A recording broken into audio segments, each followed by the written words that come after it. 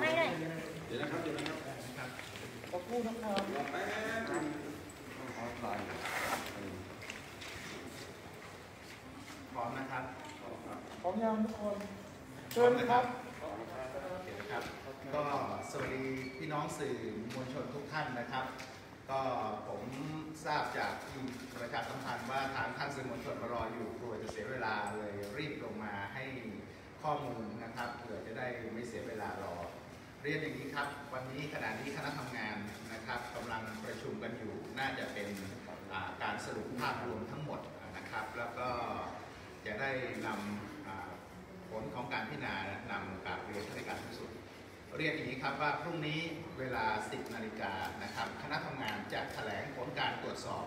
ในนามของสำนักงานอัยการสูงสุดเนี่ยในเวลา 10 นาฬิกานะครับที่ห้องประชุม 120 ปีชั้นหนึ่งของอาคารแห่งนี้นะครับ ก็ห้องดังกล่าวน่าจะกว้างขวางแล้วก็เพียงพอแล้วก็สะดวกสบายกับพี่น้องสื่อมวลชนในการที่จะปฏิบัติภารกิจหน้าที่นะครับส่วนวันนี้ก็คงจะนำเรียนท่านเพียงว่าทางคณะทำงานกำลังเร่งสรุปเอกสาร แล้วก็จะนำเรียนทั้งหมดให้กับพี่น้องสื่อมวลชน เพื่อสื่อสารไปยังพี่น้องประชาชน ให้ทราบในวันพรุ่งนี้เวลา 10นาฬิกานะครับ ก็คงมีข้อมูลที่จะนำเรียนท่านสื่อมวลชนเพียงเท่านี้ครับท่านมีพี่มิวคะนั่นหมายความว่าวันนี้เนี่ยในในเรื่องของการสอบต่างๆเนี่ยเรียบร้อยร้อยเปอร์เซ็นต์แล้วเพียงแต่เหลือแต่เพียงการเรียบเรียงให้ดูเป็นทางการถูกไหมกำลังเร่งจะให้ทันครับยังไงก็คาดว่าจะต้องเสร็จสมบูรณ์ก่อนที่จะมีการแถลงพรุ่งนี้ ถ้าไม่ทันก็คงจะทำทำทำกันอย่างเต็มที่นะครับ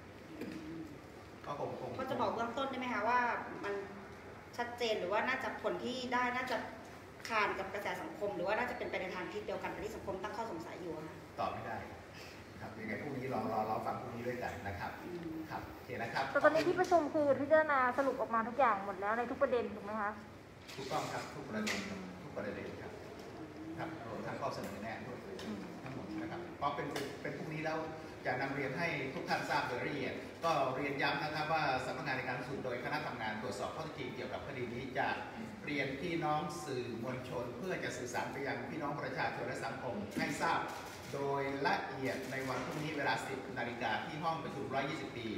โดยผู้ที่จะขึ้นร่วมแถลงข่าว และก็นำเรียนผลสรุปของการตรวจสอบท็จริงก็จะประกอบไปด้วยนายสมศักดิ์ติยวานิชซึ่งเป็นรองอัยการสูงสุดและเป็นหัวหน้าคณะทำงาน มีนายประเมศอินทรชุมนุมนะครับอธิบดีอัยการคดีอาญาธนบุรีนะครับ นายอิทธิพรแก้วทิพย์ รองอธิบดีการสำนักงานคดีอาญาในฐานะเลขานุการของคณะทำงานนายชาญชัยชลานนท์นิวัฒน์รองอธิบดีสำนักงาน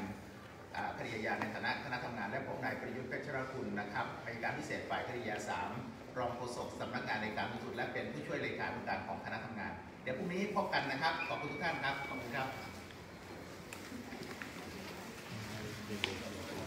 ไม่เชื่อค่ะ นั่งรอตั้งนานจะตัดจบยังไงล่ะทีนี้ตามพรุ่งนี้นะคะ ค่ะนี่ก็เป็นนะคะภาพรวมเบื้องต้นในวันนี้นะคะ ทาง